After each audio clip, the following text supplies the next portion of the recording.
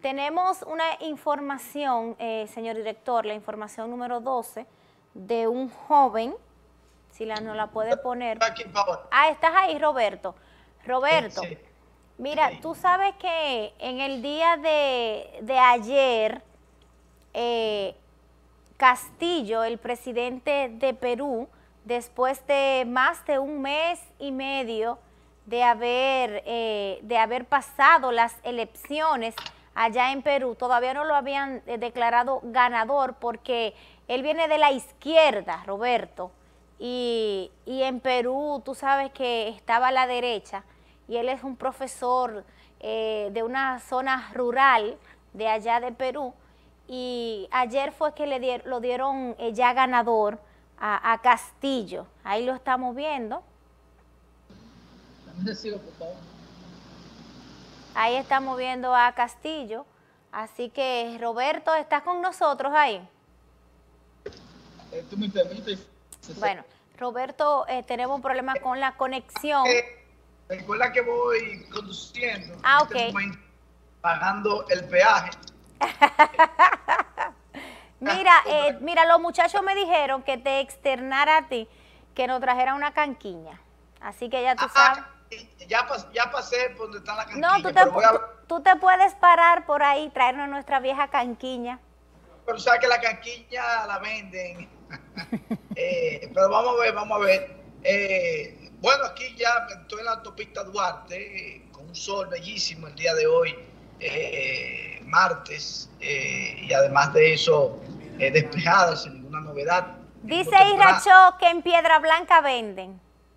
Ah, en Piedra Blanca. Mira, Roberto, tú diste una pequeña pincelada en el transcurso de la semana y en la semana pasada también tú has hablado, pero ya yo quiero que hablemos, porque ya tú estás en la fase final de lo que concierne a la parada del Bronx.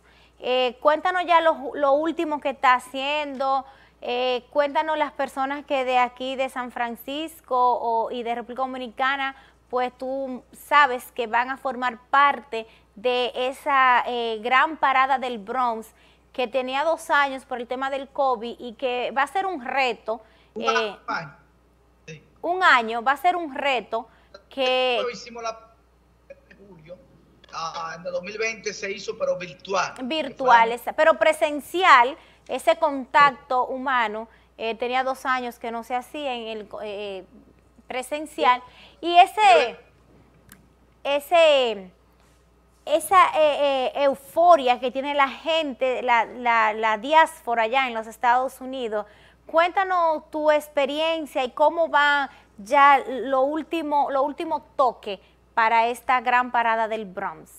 Mira, eh, eh, no sé si producción llegó a hacer unos cortes de la parada que hicimos del 2017, que a mi entender fue una de las más eh, conglomeradas, donde asistieron la mayor cantidad de dominicanos.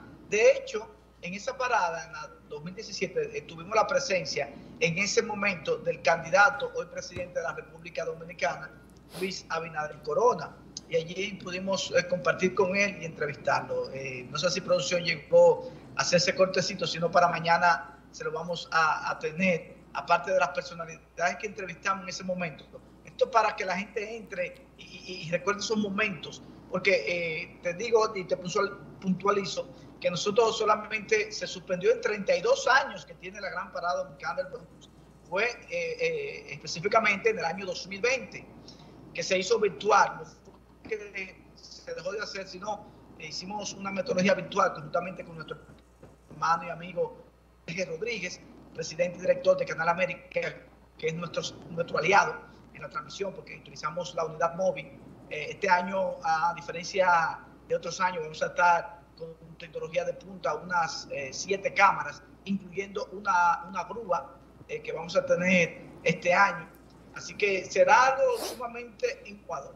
Mira, quiero aprovechar, antes que se me pase, en New Jersey, a nuestro hermano DJ Henry, que aunque él hace la transmisión con la pero es nuestro hermano, nuestro socio, nuestro amigo, nuestro aliado, y, está en sintonía con nosotros, como siempre, él y su esposo. Así que un saludo para DJ Henry que también, eh, eh, eh, aunque está con la competencia, como dije, es parte primo, importante de las transmisiones de la Gran Parada Dominicana del Bronx y también la Dominican Day Parade, porque nosotros, Telenor y nuestra empresa publicitaria, no solamente transmitimos la Gran Parada Dominicana del Bronx, sino también la Dominican Day Parade, que es la que se hace en Manhattan, eh, que se hace a principios de agosto. Este año, obviamente, creo que la de Manhattan no se va a llevar a cabo. Pero, eh, viendo a, responder tu pregunta, eh, eh, varios talentos, incluyendo, por ejemplo, nosotros que somos parte de la producción, pero también talentos.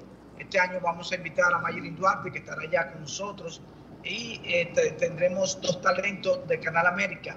Heriberto, que siempre está apoyándonos en la, en la, conducción, y, no recuerdo el nombre de, de, la talento femenino, que estará también con nosotros.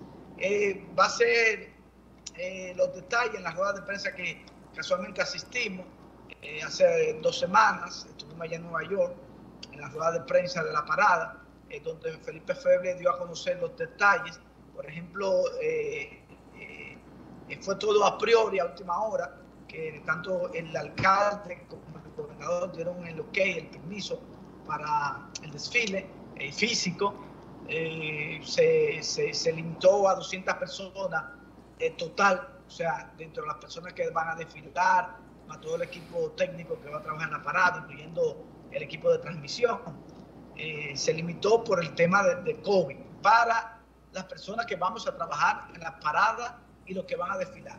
De hecho, se limitó la cantidad de carros. El año pasado era prácticamente limitada, unas 38 hasta 50 carrozas llegaron a participar en la Gran Parada Dominicana del Bronx. Este año se limitó creo que a unas 20, no tengo el dato específico, pero sí se limitó la cantidad de carrozas y la cantidad de personas que, están, que van a estar en la carroza y que van a participar eh, eh, eh, como, crew, o sea, como equipo técnico en la carroza. Decir, que es un poquito limitada, aunque algo bueno es que a los, vamos a llamar a, los que van a disfrutar, que es el pueblo, de la gran parada, no hay limitación. Recordemos que esto es un evento al aire libre, estaremos a todo lo ancho y largo de la Gran Combo y, y los, eh, los espectadores, los fanáticos, las personas que van a disfrutar, que déjame decirte que desde tempranas horas de la mañana ya las personas están con su neverita, su sillita, su, sombrilla, es como un, día de camping, un día de campo, eh, la gente lo disfruta desde temprano hasta que concluye eh, eh, la parada. Porque ahí recuerda que desfilan diferentes personalidades políticas, pero también artistas, orquestas. nosotros vamos a tener al lado del state de, Telenor y Canal América de transmisión, vamos a tener una tarima con artistas que se que, que van a estar por allí, porque en realidad esto es una fiesta de la dominicanidad donde se resalta nuestra cultura, eh, nuestros, eh, nuestras figuras políticas, nuestros artistas. Eso es la parada dominicana del Bronx. Vamos donde hay baile folclórico, eh, van grupos carnavalescos, van grupos deportivos y recreativos. nuestra dominicanidad, lo que es el dominicano. Entonces eso se presenta en esa parada, en ese gran desfile. Previo a la parada, hay que mencionar que la cena de gala este año se va a llevar a cabo. Eso se hace el viernes, previo a la parada, una cena donde ahí se, se le entrega la banda, tanto al Gran Mariscal, que este año es el cónsul general de la República Dominicana, el ingeniero Eligio Jaques, que se le va a entregar Gran Mariscal, y ya eh, eh, los padrinos, que ahora mismo no tengo ahorita, pero que nos se dieron a conocer eh, los padrinos de la gran parada dominicana de Bronx, que es algo simbólico desfilar como padrino o como gran mariscal. Por ejemplo, en la, en la, en la, en la Dominicana de Iparé, que es la de Manhattan, hemos tenido figuras desde Juan Luis Guerra, Romeo Santos, que te digo, Juan Marichal, entre otras personalidades, han sido eh, gran mariscal eh, de la parada. O sea, que es un asunto eh, sumamente importante y, donde se resalta la cultura dominicana y donde el pueblo dominicano, residente no solamente en Nueva York, sino en otros estados. Hay gente que viene de otros estados a disfrutar eh, la gran parada dominicana de Conce. Y este domingo 25, o sea, será todo un éxito. Bueno, así es, Roberto. Nosotros aquí en el estudio, Roberto, vamos a hacer una pequeña pausa bien cortitita.